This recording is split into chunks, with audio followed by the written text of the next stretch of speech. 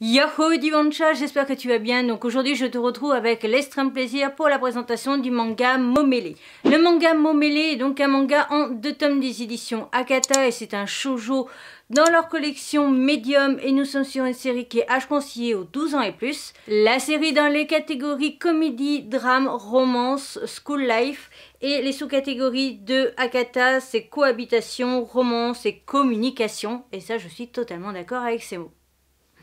Pour ce qui est du mangaka, nous sommes avec au scénario Megulu Izawa et au dessin on a Toru Tagura. On attaque donc avec mon avis sur la qualité du dessin et je te dirais tout simplement que ça vaut un 7 sur 10. Donc c'est plutôt pas mal mais on a fait mieux. Je trouve les coups de crayon assez simples et euh, je trouve aussi qu'on a beaucoup beaucoup trop de fond blanc donc ce qui est bien dommage.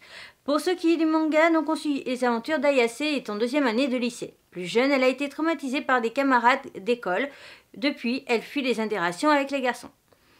Mais à cause de la baisse de tourisme dans sa région, son quotidien se voit être chamboulé car l'auberge où elle vit avec son père et ses grands-parents va devenir une pension pour lycéens. Du jour au lendemain, elle devra donc, bien malgré elle, cohabiter avec euh, des camarades de lycée. Mais l'un d'entre eux semble aussi enfouir dans son cœur une douleur inavouée. Dans Momele, euh, Toru euh, euh, met en scène le quotidien d'adolescents qui, à cause de leurs blessures, ont du mal à s'ouvrir aux autres. Avec douceur et poésie, la mangaka dévoile leur apprentissage avec un style graphique particulièrement séduisant. Mais je trouve que c'est très doux et euh, justement, là c'est marqué tout en douceur et poésie, et je trouve que le dessin colle parfaitement et fait vraiment le côté tout en douceur et poésie. Voilà.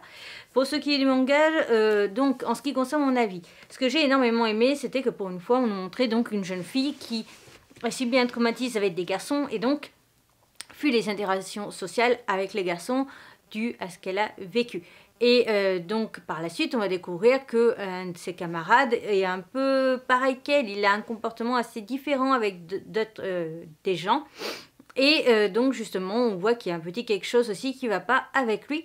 Et c'est là que tout commence. En fait, on va voir euh, justement ces deux personnages au cœur blessé, voilà, qui ont souffert, qui ont essayé en fait, sans vouloir, malgré eux, euh, justement avec leurs problèmes ensemble, de justement de s'entraider et d'essayer de faire quelque chose avec leurs problèmes et d'essayer de résoudre justement leurs problèmes. Et c'est ça que j'ai trouvé beau parce que ça donnait un message positif et ça donnait une force. On voit bien qu'ils galèrent quand même avec justement leurs euh, problèmes à eux, leur, je vais pas dire phobie, mais euh, voilà le problème de l'interaction sociale avec des garçons, etc. Et j'ai trouvé très intéressant. Moi-même, il faut savoir que je suis extrêmement timide, je suis timide à l'extrême, euh, très clairement. Euh, je suis à un point où même des fois parler à des inconnus, je pleure tellement que c'est un peu trop dur des fois pour moi. Et justement, je trouvais ça très intéressant. En plus, le coup d'avoir subi un traumatisme. Alors, elle n'a pas été violée ni quoi que ce soit par un homme, mais euh, son comportement de fuir les hommes comme ça le plus possible, euh, si tu me connais un petit peu et tu connais un petit peu mon passé, tu sais aussi que ben, cette apparence que j'ai actuellement n'est pas pour rien. Voilà, très clairement. Et donc, du coup, bah, j'ai trouvé ça très intéressant et très instructif.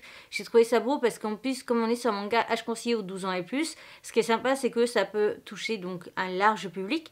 Et ça peut faire du bien aussi à des gens qui auraient eu un trauma de X ou Y raison euh, par rapport à leur vie. Et alors, je parle de trauma, de justement de euh, d'avoir un problème avec le genre opposé, par exemple, ou autre. Et je trouve ça très intéressant parce que le message est tout en douceur. On voit bien que les deux personnages galèrent à essayer de sortir de leurs soucis naturels et euh, donc justement que c'est pas forcément quelque chose d'évident. Euh, moi, je vais te dire clairement, si un mec que je ne connais pas s'approche de moi, s'il arrive par derrière et je ne l'ai pas vu, je vais sursauter, je vais me décaler, je vais avoir le cœur qui bat à la chamade tellement que j'ai eu peur et je vais me décaler d'un cran, tu vois. Euh, alors, j'essaie de rester par rapport au cadre, mais je vais me décaler d'un cran par réflexe et par peur. Et euh, si on me touche, euh, j'ai toujours, j'ai souvent dit, hein, mais je n'aime pas le contact physique et je le redis, je n'aime pas le contact physique, surtout si c'est des gens que je ne connais pas. Et récemment, par exemple, je, vais te donner des exemples comme ça pour que tu puisses quand même voir à peu près. Et là, c'est un peu ça aussi, sa phobie à elle, c'est dès qu'on lui parle, dès qu'un garçon s'approche pour lui parler ou quoi que ce soit, elle fuit, elle cherche pas à aller au karaoké ou quoi avec ses camarades parce qu'il y a des garçons. Et moi, récemment, euh, c'était juste dans un chaussée, donc un magasin de chaussures, euh, il y a une femme, elle avait plein de boîtes, et en fait, elle s'est retournée violemment, et donc elle m'a poussé, mais j'ai failli me casser la gueule. Et en fait, elle a pas, voilà, c'est pas méchant ce qu'elle a fait. Elle, a juste posé sa main sur mon épaule en me disant Je suis désolée. C'est en, faisant comme ça Oh, je suis désolée, j'ai pas fait exprès et tout. Et moi, en fait, j'étais tellement pas bien parce que justement, quelqu'un m'avait touché. Et même si c'était une femme, et donc c'est moins pire que si ça avait été un homme, et ben je me sentais pas bien et j'avais envie de partir du magasin parce que, juste à cause de ça. Et euh, ça aurait été un homme, je crois que je me serais mis à pleurer après en étant partie, mais j'aurais sûrement pleuré, soit intérieurement, soit extérieurement, mais voilà. Donc, euh, oui, si je te connais un minimum, comme par exemple une abonnée que je vois au Festival de la BD, je dis ça parce que c'est prochainement, ça passe, je sais que, et je la connais un peu via les réseaux sociaux, donc ça passe si elle me touche. Mais évite, en fait, je te conseille, hein, si un jour tu me vois, évite de me sauter dessus directement et de me faire un câlin sans que je sois au courant ou par derrière, sur le côté ou quoi que ce soit et que je t'ai pas vu parce que très clairement, je peux te repousser et très violemment sans le vouloir. J'ai déjà repoussé une de mes ex-meilleures amies euh, lors d'un câlin juste pour une photo. Donc euh, voilà, je tiens préciser. Bref, toujours est-il, mais ce que je veux dire, c'est que c'est vraiment le genre de comportement qu'ont nos deux protagonistes. Euh, donc c'est vraiment quelque chose de très intéressant parce que justement, c'est quelque chose de possible. Hein, je me reprends encore en, exemple, mais c'est possible. Et donc, je trouve ça fascinant, en fait, comme genre de livre, parce que là, on n'est pas sur une histoire vraie, mais on est sur une histoire inventée. Mais ce que j'ai aimé, enfin, ou peut-être que c'est l'histoire de l'auteur, mais elle veut pas nous le dire.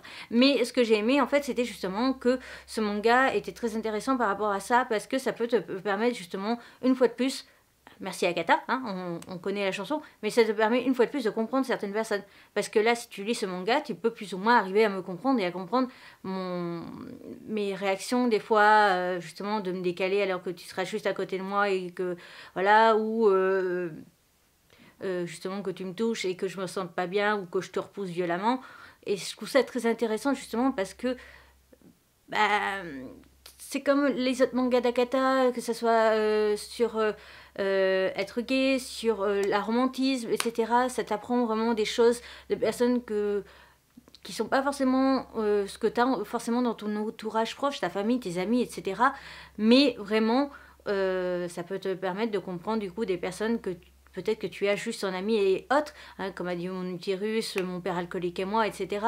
Mais c'est vraiment quelque chose que j'aime et c'est ah, c'est pour ça aussi hein, que je me suis tatoué le logo de Agatha. C'est parce que franchement, ce genre de titre me touche et euh, j'aime trop lire ces titres et j'aime vraiment lire. C'est vraiment presque le genre de manga que je préfère le plus lire. Alors, pas non plus en grande quantité, tu vois, mais euh, deux par mois, deux petits, comme ça, deux, trois tomes par mois, honnêtement, je serais ravie d'en lire plus souvent parce que je trouve ça trop intéressant, etc. Il y a eu un manga aussi des éditions Miyen récemment qui a véhiculé un très très beau message et j'ai vraiment adoré aussi. Et donc, bref, toujours est-il, ça euh, alors, je suis pas sur un giga coup de cœur, je suis sur un méga, mais c'est quand même déjà une excellente note. J'ai vraiment aimé le manga, il est très bien travaillé, très bien abouti, même s'il n'est qu'en deux tomes, parce que je connais une abonnée qui va encore mettre en commentaire « Ah oui, mais deux tomes !» Il est très très bien géré, il n'y a pas de souci là-dessus, il n'est pas écourté, il n'est pas bâclé, il est super bien travaillé, il est super bien fait, il est super bien fini, la fin est logique et correcte et belle.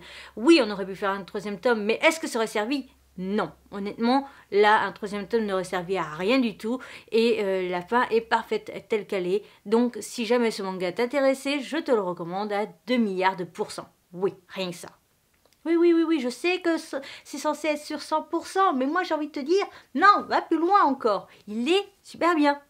Donc il faut savoir qu'à chaque fois, Agatha nous fait une vidéo sur YouTube pour nous expliquer le choix du titre, pourquoi ils l'ont pris, pourquoi ils nous proposent, le choix du titre en, français, s'il y a une explication, etc.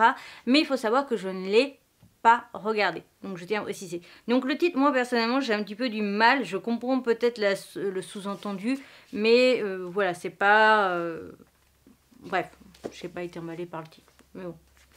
Ensuite, pour ce qui est des illustrations à l'avant, je les adore, je les trouve vraiment magnifiques. Voilà, pour vraiment tous les détails.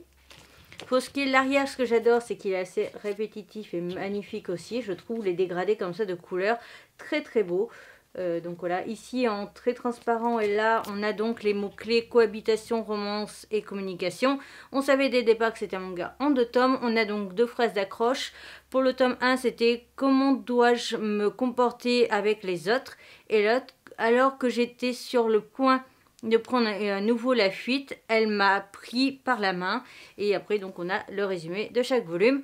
Donc c'est tout euh, ce qui concerne les grandes lignes, juste que c'est un shoujo mais il est au prix de 8,05€ alors souvent c'est pas vraiment le prix des shoujo, c'est plus le prix de leur seinen, je tiens à préciser. Voilà donc en ce qui concerne le manga, euh, il me semble pas qu'il y ait vraiment de pages entre chaque chapitre de dessiner. Non, c'est ça, on n'a pas vraiment de page entre chaque chapitre. Pour ce qui est de l'intérieur, on commence avec ceci. On continue avec ça, qui est en fait l'illustration du tome 2. Ah non. Ah oui, d'accord, c'est la même illustration ici. Et... Ok. semblait l'avoir déjà vu, c'est pour ça. Et on commence directement comme ceci. Pour ce qui est du tome 2, donc on commence avec la même illustration du vélo. Et voilà, pour ce qui est du tome 2. On n'a pas de récap des personnages et on commence euh, de la même façon avec la petite phrase ici. Et c'est tout. Donc je n'ai pas grand chose à dire en ce qui concerne les couvertures. Je les trouve plutôt sympa. À savoir aussi que le tome 1 est vachement plus gros que le tome 2. Et c'est tout ce que j'ai à dire en ce qui concerne les détails.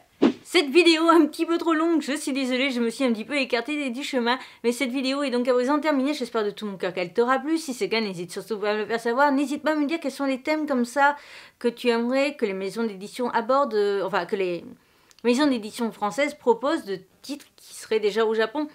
Comme euh, voilà, il y a eu l'alcoolisme, il y a eu l'utérus, l'enfant frappé, euh, il y a eu donc le, problème de mettre tout le monde dans un même panier. Il y a donc le, euh, le fait d'être gay, l'aromantisme, tout ça, le trans, le, l'être être un garçon en apparence physique alors qu'on ne se considère pas forcément comme une personne transgenre.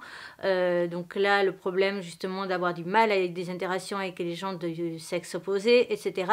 N'hésite pas à me mettre en commentaire, ça me ferait très plaisir de savoir toi ce que tu attends le plus au niveau des titres. Moi, je me laisse porter, mais j'aime trop ce genre. Voilà. Donc, ma tête de panda pour t'abonner, mes réseaux sociaux, le compte Vinted, bien entendu, mes deux précédentes vidéos des éditions Akata, ma tête de panda pour t'abonner si ce n'est toujours pas fait. On n'oublie pas d'activer la cloche pour t'informer de chaque sortie vidéo, mais sinon, je t'invite vraiment à me rejoindre sur un des réseaux sociaux, surtout Instagram, parce que c'est là où je suis le plus actif avec TikTok mais euh, pour avoir vraiment toutes les informations, etc. Je te retrouve bientôt pour une nouvelle aventure. N'oublie pas de sourire quoi qu'il arrive. Bye